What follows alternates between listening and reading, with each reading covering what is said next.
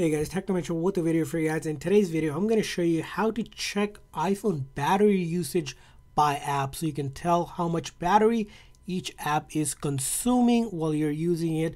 So let's get started. So this information is available right on your iPhone on the latest iOS version. First thing is you're going to go into your setting of your iPhone.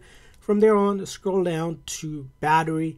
Right under battery section, you'll see here a bunch of information. But if you scroll down a little bit further, you see battery usage by app and it shows you how much battery percentage using by certain apps. So in the last 24 hours, right, I can see that these are the apps and it's showing how much of the battery percentage is consuming. So keep in mind, this is not that, this percentage is not how much of it is actually using, but how much of that percentage battery that you had like the capacity at that last 24 hours. So it kind of gives you an idea which one is using the most battery.